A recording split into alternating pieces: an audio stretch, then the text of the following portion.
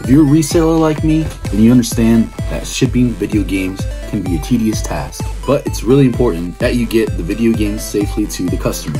So what's the easiest way to do that? And the most effective way?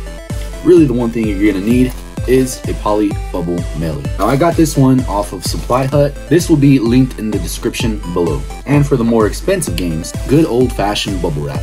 So let's take Metroid Prime for example. Metroid Prime 3 for the Nintendo Wii. This is about a $15 game. Semi-complete with a game disc and with the instruction manual. So what would I use to ship Metroid Prime? Again, the main thing is going to be essentially what you use for all your packages. And that's going to be the poly bubble mailer.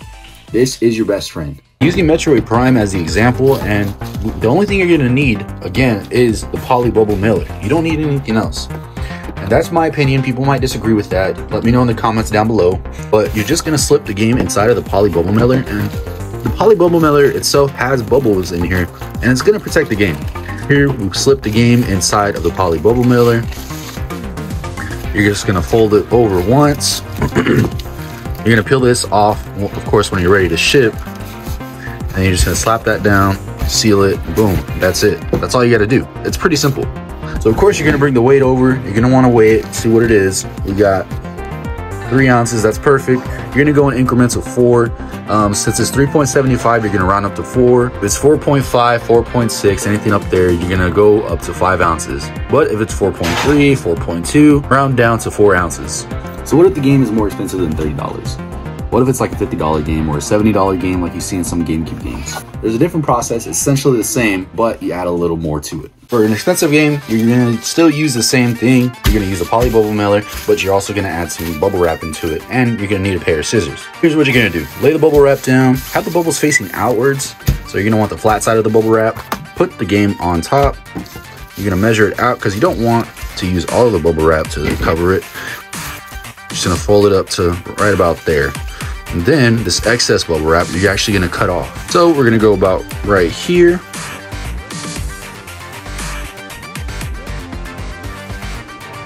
Okay, once you got that cut off, then you're just gonna open the game. You're gonna wanna fold this into a square, like so. Put that inside of the case, close it up. You hear that? Exactly. No shaking. So the game's protected. The manual's protected. And so you're just gonna fold this. And if you have some scotch tape, you can tape it over. You can tape this side over as well, the ends. Generally, this will be about, this will be good enough to put inside of poly bubble mailer. Sometimes it might fit like this, but usually it doesn't. So I just slip it in like that. And fold it over, seal it, and forget it. That's it. Now, let's say it was Rule of Rose or Dragon Ball Tenkaichi 3. If it's over $100, I would personally put it inside of a box, bubble wrap it, of course, and put a lot of packing paper inside of it because those games and those conditions, they matter. But again, let me know what you think in the comments below. Maybe you can teach me something that I don't know. If you gained something from this video, please leave a like, subscribe because if you like this stuff, then I'll make more videos like this. I also want to start showing videos of me actually going out to deals, yard sales, Facebook Marketplace deals, stuff like that. Thanks for watching.